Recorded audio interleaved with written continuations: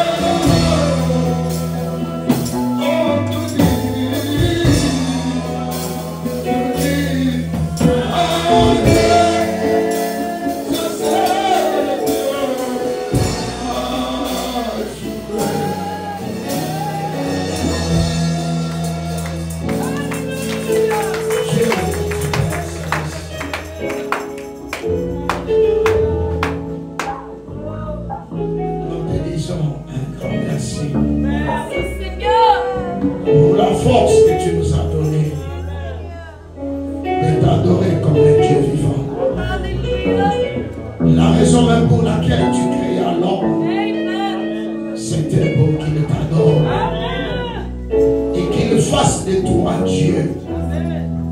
S'il n'y avait pas l'homme, tu ne serais jamais Dieu.